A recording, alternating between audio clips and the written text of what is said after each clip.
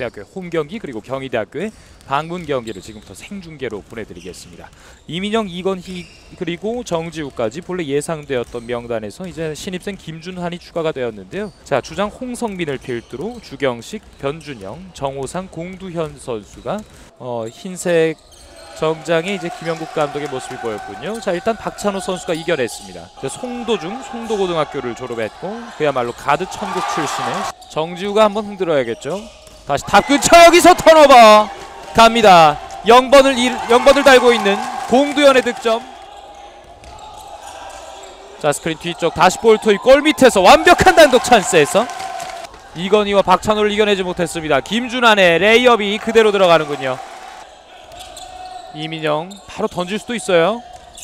이번에도 오늘 미들에서 많이 던지네요. 다시 한번 이민영의 득점. 박세원의 볼 투입. 자 박찬호의 포스트업.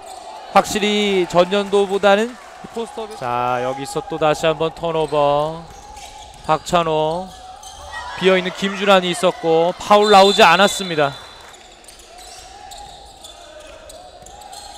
정지우 이건희의 도움을 받아서 던진 점퍼가 그대로 빨려 들어가는군요. 7대 16. 자, 샷 클락이 많이 부족했는데 넘어지면서 던진 슛 들어가지 않았고 정지우의 리바운드로 1쿼터가 종료됐습니다. 홍석영이 들어와 있군요. 네, 홍석영이 2쿼터에 또 투입이 됐습니다. 홍석영이 들어오자마자 득점을 만들어내네요. 샷 클락이 또 부족해요. 또 부족합니다. 2초, 1초 들어갔네요. 최재우와 권성진 두 선수로 늘어났죠. 정주환은 또 다른 스타일의 선수입니다. 그리고 이민영이 외곽에서 노리는군요. 파울 관리가 문제가 되고 있습니다. 직접 돌파 그리고 득점까지 박찬호 샷클락이 충분하진 않아요. 오늘 점퍼가 잘 들어가는 이민영 말씀드리는 순간 또다시 추가점. 동국대학교가 파울 개수가 한 개 차로 좁혀져 있습니다. 없어 보이는군요. 다행입니다. 정호상 달고 들어가면서 정지우 떨쳐냈고 직접 뱅크샷으로 정지우의 볼 전달 그리고 이민영 다시 정지우에게 원투에 이어서 마지막 마무리까지 정지우가 해냅니다. 쏟아 부어야 되는 상황. 홍성민 전달 그리고 이동민이 좀 힘들게 던졌습니다만 득점이 만들어집니다. 되면 좋을 텐데요. 박세원의 석점, 아 투 포인트가 인정이 됩니다. 다시 최재화, 이건희가 던지나요?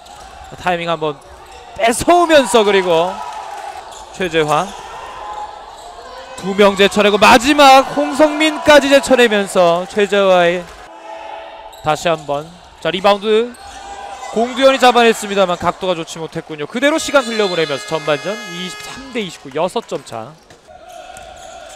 자, 양 팀 모두 이제 빠른 농구로 승부를 보겠다는 것이겠죠. 권성진, 홍석영의 스크린.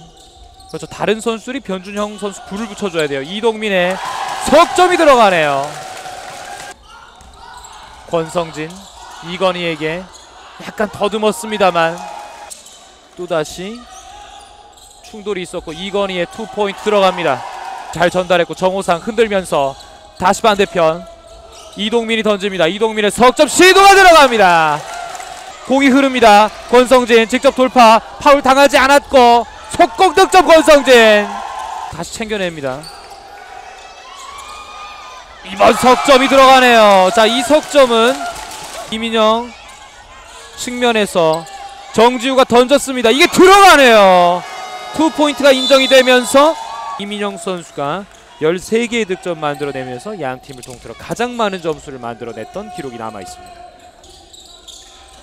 돌아 나온 공두현 완벽한 프리 찬스에서 이 석점이 들어갑니다. 자, 공두현 10% 이하로 떨어졌습니다. 아, 여기서 가로채기 성공했군요. 턴오버 그리고 최재화의 속공 득점. 하나난다면 참 좋을 텐데요. 공두현, 공두현이 던집니다. 굉장히 먼 거리 석점이 터지는군요.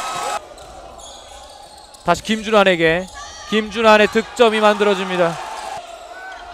스텝을 열심히 움직여 봅니다만 변준형 직접 던지는군요. 지금 페이크 동작으로 김준환을 떨쳐냈고 홍석영이 확실히 몸싸움이 좋군요. 공두현이 벌써 몇 개째인가요? 이민영의 미들샷이 오늘 전반전에 굉장히 적중률이 좋았는데 박찬호의 리바운드에 이어서 리버스 레이업 이어지고 있는 상황에서 이민영의 돌파 그리고 박찬호에게 패스가 이어졌습니다. 자 이게 아까도 안내를 해드렸습니다만 동국대학교 정말 험난한 가시밭길 속에서 자 중간고사 휴식기 이후에 이제 3연패를 당하게 됐고 경희대학교가 어 동국대와 경희대학교의 경기 64대 57로 마무리가 됐습니다.